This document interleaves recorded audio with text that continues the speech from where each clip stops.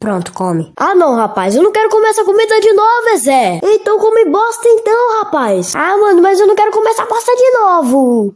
Vai me obrigar a comer isso daqui mais uma vez? Sim! Caralho. Bom, então tá bom. É melhor do que nada, né? Você por acaso viu a bosta do seu amigo? Tá ali. Que é que tu quer, Zé? Eu quero fazer vingança!